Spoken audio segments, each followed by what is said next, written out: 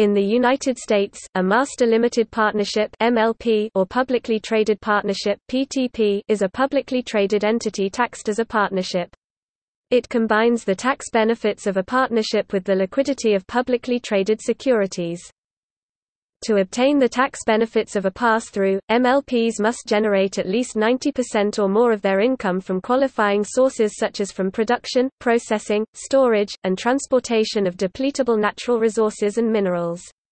In addition, real property rents also qualify.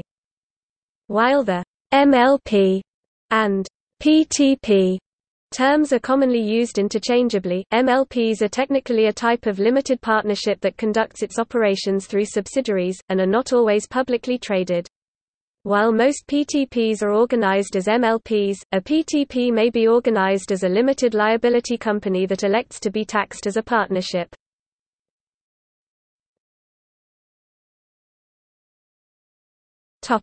History In 1981, Apache Corporation formed the United States' first MLP, Apache Petroleum Company APC. Apache's success drew other oil and gas companies to the MLP structure. Real estate companies soon followed, and by the mid-1980s, MLPs became so popular that they were adopted in a variety of industries, such as restaurants, hotels and cable TV. Even the Boston Celtics basketball team became an MLP.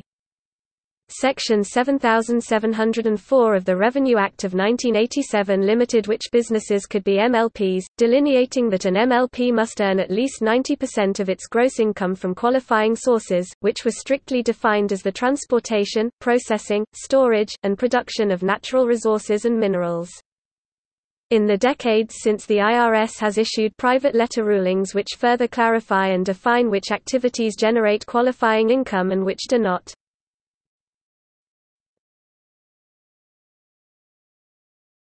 Topic: Structure. Like all partnerships, MLPs have two classes of ownership, the general partners which make the decisions, and the limited partners which contribute funds and participate in the economics.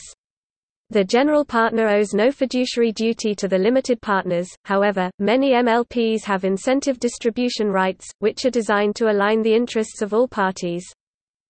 MLPs pay their investors through quarterly required distributions, the amount of which is stated in the partnership agreement, or contract, between the limited partners the investors and the general partner the managers. The distribution paid by MLPs is equivalent to the dividend paid by C corporations.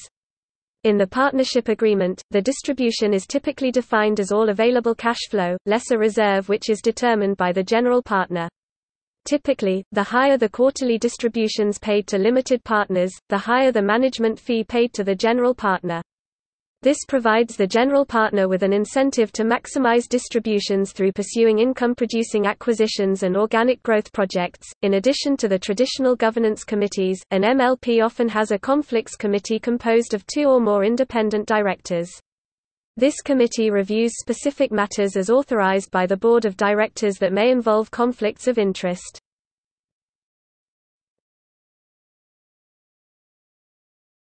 Topic: Taxation. Because MLPs are not subject to corporate taxation, they act as pass-through entities. Limited partners may also record a pro-rated share of the MLP's depreciation on their own tax forms to reduce liability. This means that all items on an MLP's income statement flow through to the investors who pay taxes on their individual portion at their individual income tax rates. As depreciation typically exceeds income, the majority of an investor's distribution serves to reduce the cost basis of the investment, which reduces the taxes owed in the current year. Instead of a Form 1099, MLP investors receive a Schedule K-1 tax form. As a consequence of their pass-through status, holding MLPs in tax-exempt accounts may generate unrelated business income tax UBIT. To encourage tax-exempt investors, some MLPs set up C corporation holding companies of limited partner which can issue common equity.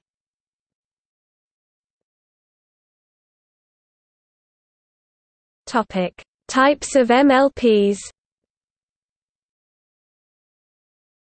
Energy MLPs Because of the stringent provisions on MLPs and the nature of the quarterly required distributions, most MLPs operate oil, natural gas, or refined product pipeline businesses, which tend to generate more predictable income streams. However, many other assets can be operated in an MLP including processing plants, natural resource storage facilities, rail terminals, marine transportation vessels, and refineries, among others.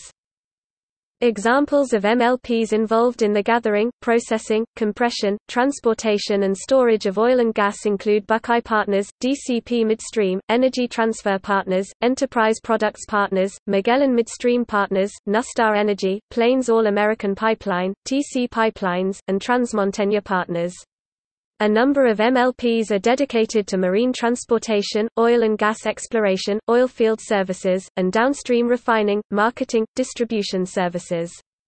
MLPs also operate in the propane, coal and biomass industries. Financial MLPs a number of companies in the finance, investment and real estate industries operate as MLPs, such as AllianceBernstein, Apollo Global Management, the Blackstone Group, Brookfield Property Partners, the Carlyle Group, Icahn Enterprises, and Och-Ziff Capital Management. Other MLPs under the rents from real property provision of the tax code, companies operating cemeteries qualify to become MLPs. The most famous of these is StoneMor Partners Ston. Additionally, the first generation of MLPs was grandfathered into the structure in the 1980s when the incomes limits were strictly defined. While most have converted to other structures such as REITs or C corporations, a few, such as Cedar Fair Fun, still exist.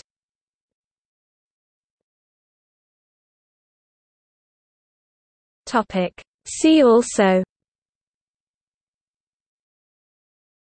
Kommanditgesellschaft auf Aktien KGaA, a similarly designed business entity under German law.